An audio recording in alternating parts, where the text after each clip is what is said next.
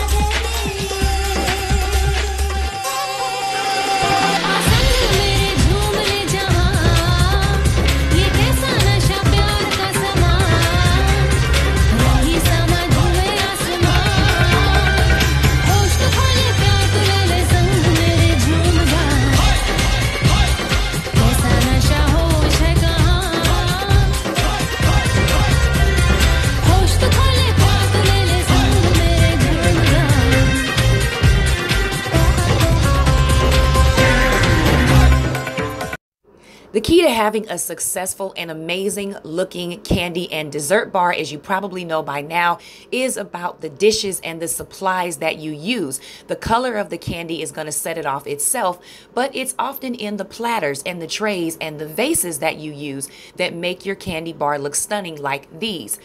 I have discovered my local Goodwill and Salvation Army always, always, always has some amazing looking vases. These are just three of the ones that I found that I decided to show you. Why? Because it's the holidays and you may be looking for a gift idea. You may be hosting a party. You may also be planning your wedding like me. Each of these were about $2.99 at my local Goodwill. So I quickly grabbed them and decided to play around with them to see what ideas I wanted to come up with. Now, they do look good plain, but I don't leave anything plain, which is why you're on my channel. I love the bling. So here's what I came up with using that bling that I've used in some of my other designs.